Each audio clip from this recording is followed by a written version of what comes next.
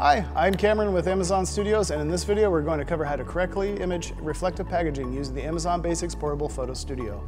I will also be using the Amazon Seller app for demonstration purposes as it does do a good job of removing the background, but the same rules and techniques apply to any capture device you may have. However, if you are imaging white or clear products, you will need to employ additional retouch services to get the background pure white. Photographing products with reflective packaging can be challenging as there will oftentimes be highlights on packages that are distracting or unpleasant to look at.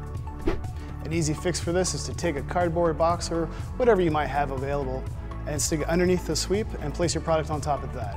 Uh, what this does is elevate the product while lowering the light levels, greatly reducing the speculars or highlights on the product. This is also a good idea for smaller items that, that would usually be too small for overhead shooting. And there you go, a quick, simple fix that'll help elevate your product photography. Thanks for watching and please check out our other videos.